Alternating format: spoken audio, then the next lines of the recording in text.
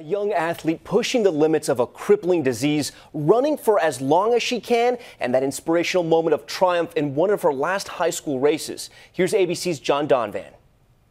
Good job, Kayla! At the end of every high school varsity meet Kayla Montgomery has ever run, she has always come in over the finish line. Oh my gosh. In a crumple. You're seeing her literally at a point when she can't feel anything in her legs. Beautiful, girl. Oh man. The key of this paradox being Kayla's determination and a nerve disease called multiple sclerosis.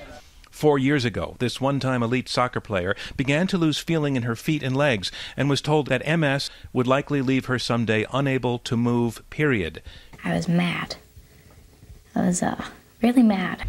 But Kayla took that mad and decided that she was going to run while she still could. Although starting out, she was how fast? I was, uh, I was kind of slow.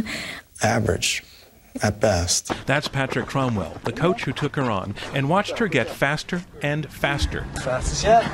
And who was always there at the finish. And here's why. When Kayla runs, the natural increase in her body temperature temporarily gives the MS the edge again. In the last part of races, Kayla has lost all feeling below her waist. She lacks the control to slow to a stop. Oh man. And the reason her cries are so urgent Help me. Is that with water, with cooling, she can feel again. We Got it. And then in her last high school race ever, she's in the gold shirt.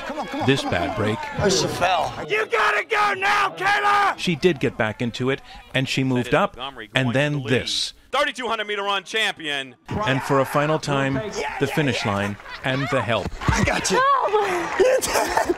Oh, Little fall. And by the time of the ceremony, she can feel, well, everything. John Donvan, ABC News, Washington.